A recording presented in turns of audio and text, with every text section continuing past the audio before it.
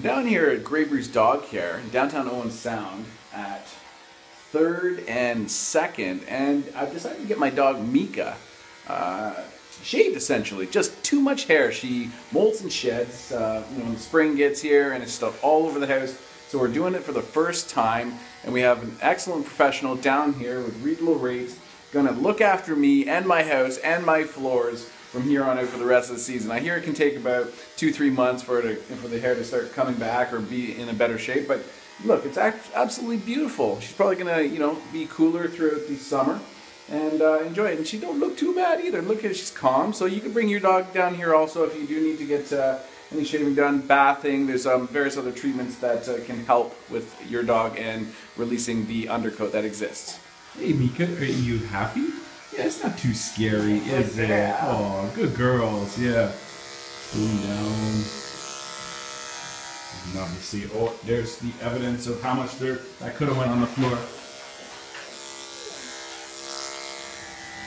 Is there anything that dog owner should know after a dog gets shaved? Is there anything that you should put, you know, wrap them in a towel or have some sort of warm thing for them? Is there any, is, is that a myth or a misconception? Are they going to be fine? Is there anything you advise?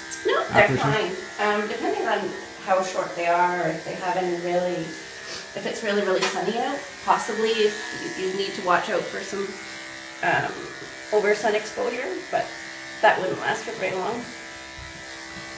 Yeah, I just learned about that actually on the tip of her nose. You got to put sunscreen maybe sometimes if you take them to the beach. Yeah. but of course we need to do that with as well because he's got a really light nose. Mm. I guess this would be easier to see if um, a dog had fleas also throughout the summer. Absolutely. So that would increase because right now, for many years, I wasn't sure if uh, she hadn't. You know, I'd have someone have you checked her, and I'm like, how do you check her? Yeah, you gotta pull it. Yeah, it's so hard to even see one spot, but this would really help. Yep. If there was a tick that got on her, perhaps even, Very you know, so. going through the forest. Yeah. Just all around. Just boy, that's not snow in the May. that is dog hair in May. Getting the undercoat taken off the easy way. Oh, it makes me so happy, doesn't it? Not quite. We do full grooms on dogs and cats. We actually do a lot of the larger dogs as well because we're set up for really big dogs.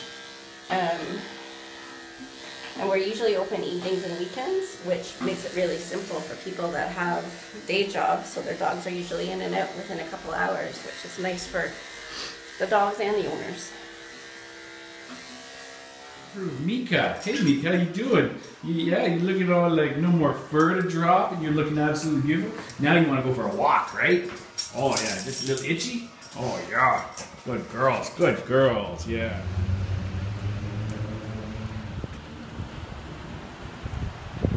Returning the to PetSmart, we're taking the Furminator for large dogs back. It was in the range of 80, 70 to 80 bucks, so it was the fur job. I find the fur, cutting of the fur, much more efficient than this device. This device did not do what it needed to be done. Maybe my expectations were a little high, but um, yeah, if you really want to get uh, the fur problem done, you know, with your dog under control, I suggest, uh, you know, maybe consider just a fur. Sorry, PetSmart, not this time, even though I do like your um, some of your products and services.